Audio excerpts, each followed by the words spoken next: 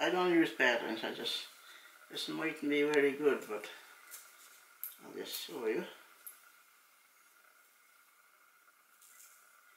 It's the first one.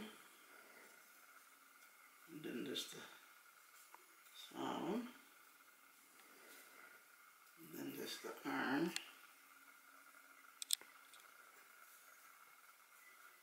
And then there's the head. You just take your sealskin and you go like this. I'm just doing this anyhow just to give you an idea what I do. I just go like this.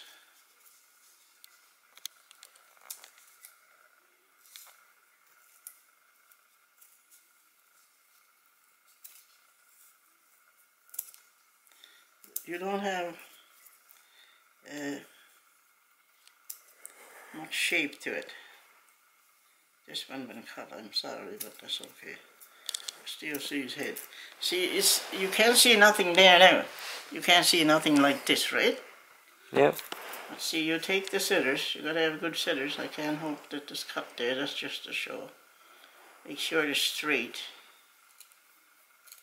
These scissors are getting blunt. So you see where the head is to now.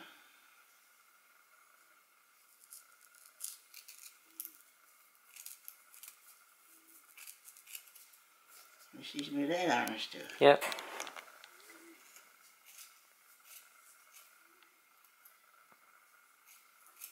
You need really good scissors for that.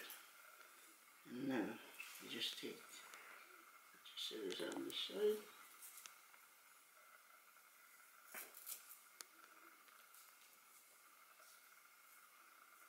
And then when you sew the back on it, sew it all the way around, it's the shape of a Enoch yeah?